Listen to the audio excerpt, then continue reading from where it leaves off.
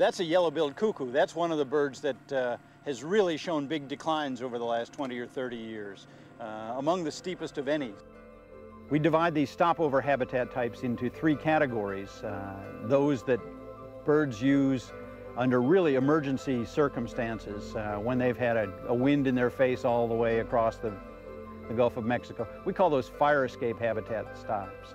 Uh, there's some that are located along migratory routes and provide low quality resources, but at least get the bird to the next place. We call those convenience stores, the way humans have convenience stores along migratory routes.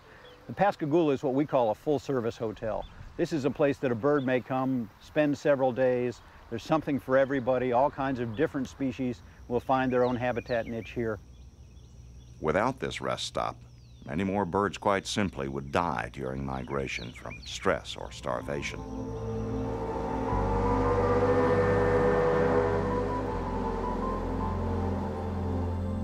Of the most charismatic bird species is the swallow-tailed kite.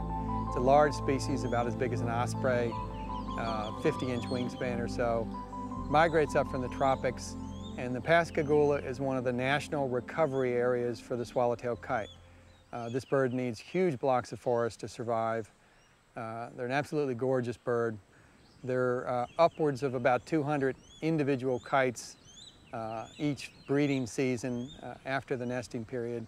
So the Pascagoula is of, of a great regional importance to that species.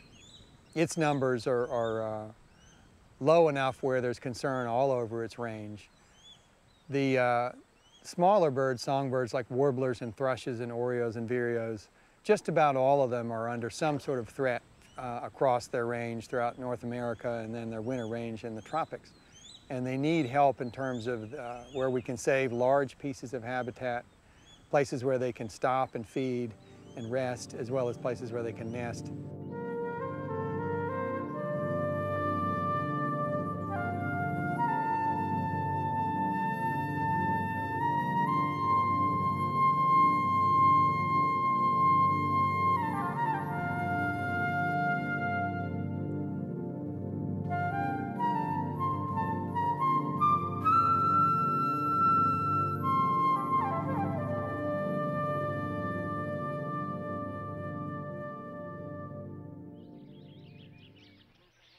Besides supporting birds in decline and providing a vital resting stop, the Pascagoula's forests and estuaries support hundreds of thousands of other life forms.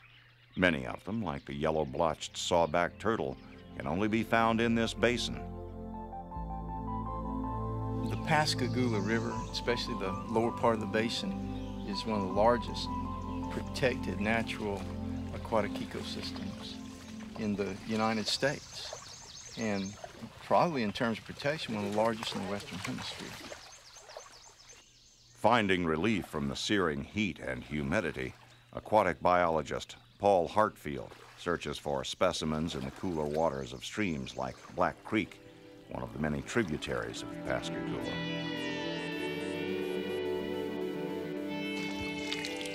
Oh, good. Fishing spider. They're called fishing spiders because they actually will catch minnows.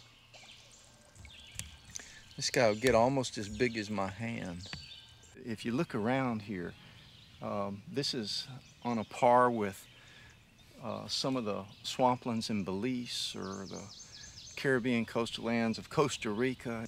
This time of year, you can barely tell it apart. You've got these huge deciduous trees. It's, it's just as jungly as it can be, and the aquatic life is, is even more diverse than it is in Central and South America.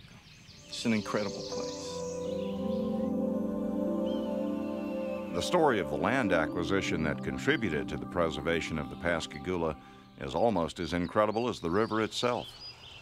The Pascagoula is one of the largest protected river corridors in the United States, but it was just a few days away from a much different fate. The rescue is the result of a chance encounter between two men who had little in common at the time.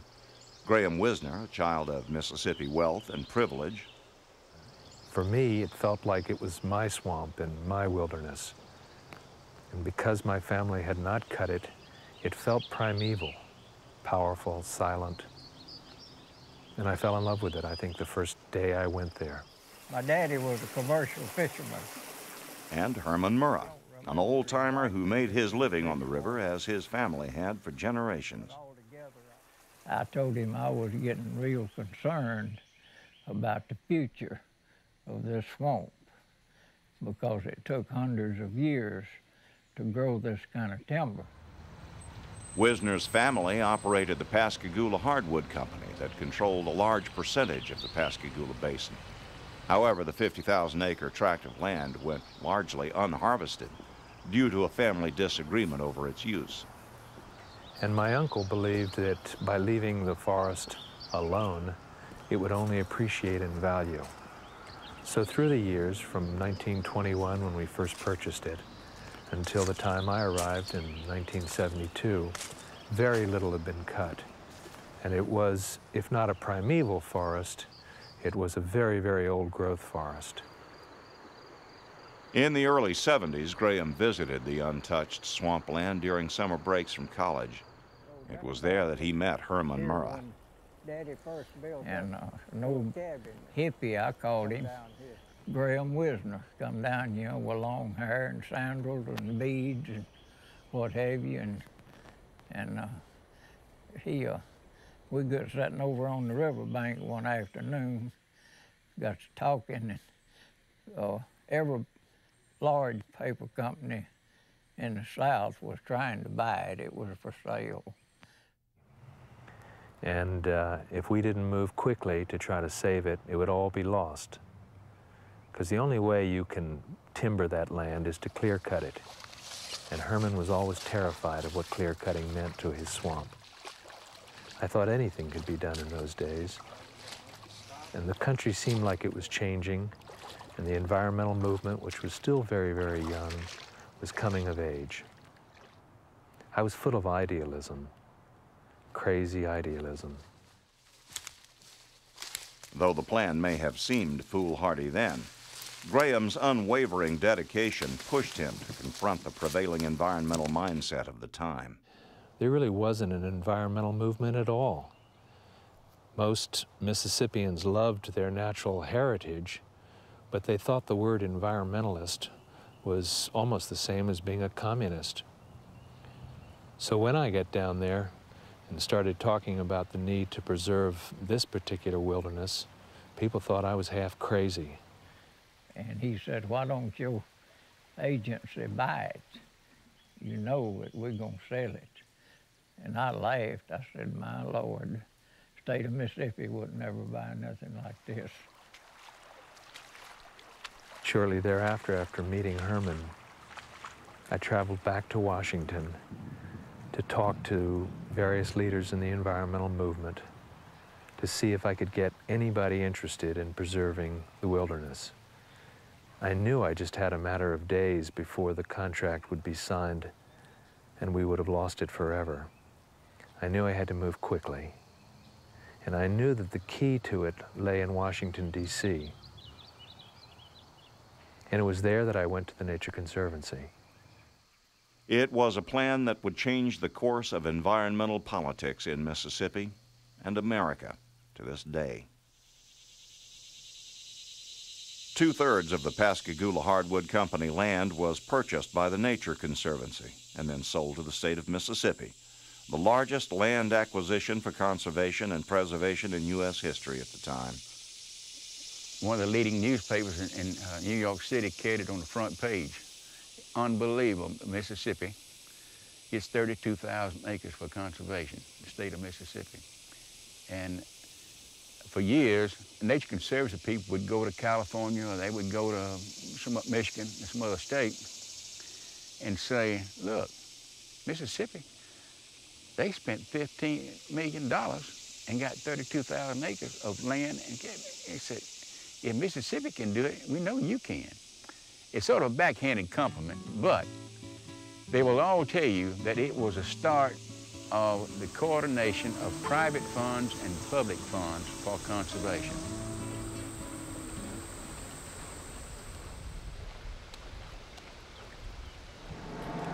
I think as the years go on, the Pascagoula track will be recognized more and more for its importance and significance because of the fact that, that it is remaining fairly stable uh, in, in its bottomland environment and its diversity, whereas so much of the property around it is converting to, uh, you know, to the monoculture.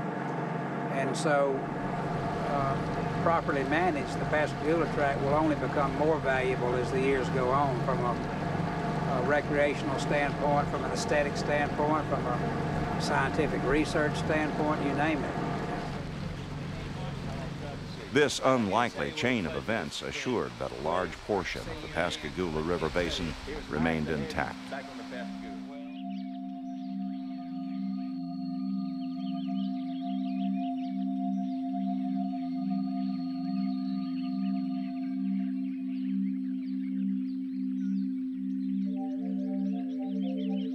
Is a place not just of one kind of habitat. It is swampland, freshwater marsh, river, forest, and bayou. The bayous of Mississippi and Louisiana are legendary. Formed as inlets from the Gulf of Mexico, the bayous and marshes are filled with water that seems motionless. This is one of the key characteristics of this part of the ecosystem, very slow-moving water so slow that only an alligator that glides over the water seems in motion.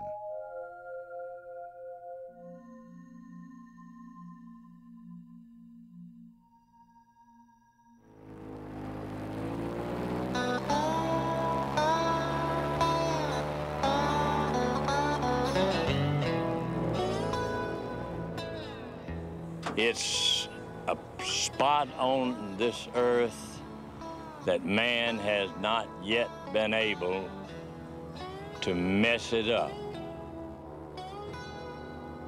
John Hudson raises alligators in the Pascagoula Basin.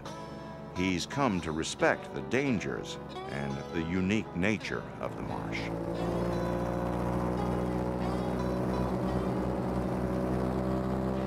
I think the marsh is the last frontier of unspoiled uh, domain of man because it's so hard for him to do it.